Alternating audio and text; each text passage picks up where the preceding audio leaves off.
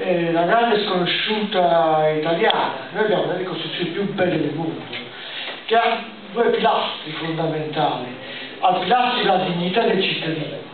Quando il cittadino eh, subisce quella violenza che andava con Fava Vino, eh, anche di non poter fare, eh, scegliere il momento in cui eh, mettere a mondo un figlio, di decidere la propria vita, eccetera. Questa è la violenza che lede la, dignità della persona, la violenza che fanno questi obiettori contro le donne lede la dignità della persona. E comunque è contro la Costituzione. Poi un'altra Costituzione dice il nostro pilastro è l'autodeterminazione.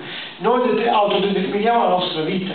Non può esistere una democrazia, qualche ente, qualche associazione, qualcuno che può decidere sulla tua vita negli anni 70 il movimento femminile diceva eh, io sono mia ed è così, ognuno di noi è di se stesso. Non è dello Stato, non è di nessuna religione, nessun partito. Noi siamo nostri, noi abbiamo il diritto costituzionale di decidere la nostra vita. Se qualcuno vuole autodeterminarci noi dobbiamo rifiutarci, dobbiamo combattere queste cose. Purtroppo in Italia questa ignoranza della nostra Costituzione porta a queste cose. Eh, spesso quando spiego la Costituzione, parlo, Costituzione, parlo della grande rivoluzione che avvenne nel 1946, 46 quando ho fatto questa Costituzione, in cui c'è un, un, passaggio fondamentale che pochi, quasi nessuno in Italia riesce a capire, quando dice le prerogative legge passano a ogni cittadino. Cosa vuol dire questo?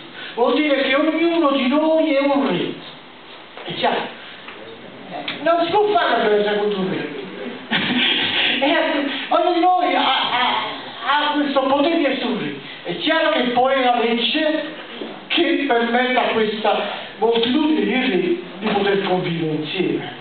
Chiaro? Questo è Ma essere un re vuol dire avere la dignità di un re, avere il potere di un re, che ognuno di noi ha.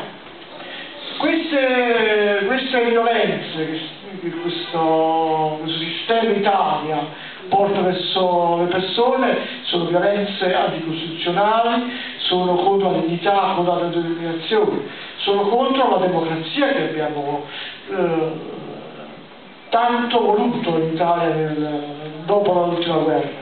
L'abbiamo conquistata questa democrazia, dobbiamo difenderla. Ora do la parola a Laura Fiore che concluderà la serata.